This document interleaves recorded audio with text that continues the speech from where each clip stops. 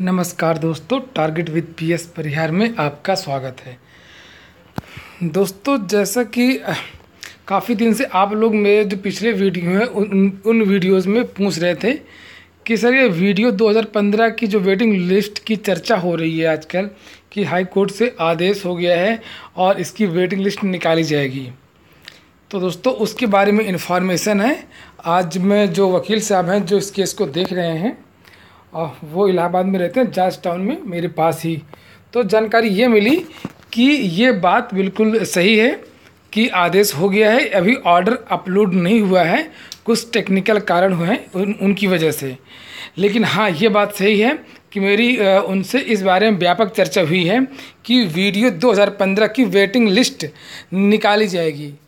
और वो एक अलग बात है कि एक ही नंबर में बहुत सारे विद्यार्थी हैं तो दोस्तों, ये जो ऑर्डर है, आदेश है high court Allahabad high court का, ये बहुत ही मील का पत्थर साबित होगा। यूपी ट्रिपल एससी और यूपी पीएससी इत्यादि जितने भी आयोग हैं, जिन, जो लोग वेटिंग लिस्ट नहीं निकाल रहे थे, अब इन लोगों को जो पिछली वैकेंसी हैं, पिछली भर्तियाँ हैं जिनके रिज़ल्ट आ चुके हैं तो उनके भी अब इस केस के आधार पर वेटिंग लिस्ट निकालनी पड़ेगी।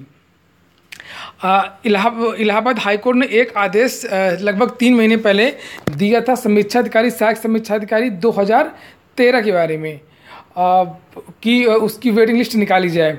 तो उसका प्रोसेस अभी चल रहा है। उसी तरीके से ये वीडियो का 2015 का लोगों ने ये केस डाला था। तो दोस्तों, इसके बारे में भी ऑर्डर हो गया है। तो ये बहुत अच्छी खबर है दोस्तों। अगर ऐसा होता है, फाइनली और दूसरी जो प्रमुख खबर ये है कि जूनियर असिस्टेंट के चार हज़ार पदों का विज्ञापन, इसके बारे में चर्चा हुई थी। पालीवाल जी ने एक इंटरव्यू में कहा था कि अगस्त के महीने में एक टेक्निकल विज्ञापन निकालेंगे, उसके बाद में जूनियर असिस्टेंट का सितंबर में इसका नोटिफिकेशन जूनियर असिस्टेंट का आ जाएगा।